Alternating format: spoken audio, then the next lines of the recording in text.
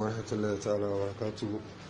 fellow elective leaders uh, I'm wishing you best of luck and uh, a bunch of greetings and uh, gratitude. I'm here to forward this uh, video to you on net purposely the reason for doing so is based on the one condition that we are here in Saudi.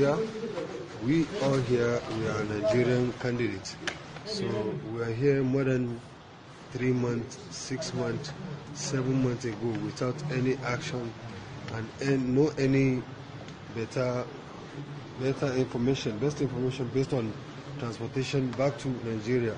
And actually, the, the according to the rules of rules of rules and regulation of uh, this location, is you will be here for at least two weeks, but we are here more than five months, six months, seven months without any uh, without any information. So and you know, most of the countries has has flight back to their countries. Only we Nigerians we don't have any source or any way of getting back. So please and please, I'm here on behalf of the others to seek for your pardon, to help us please and assist us.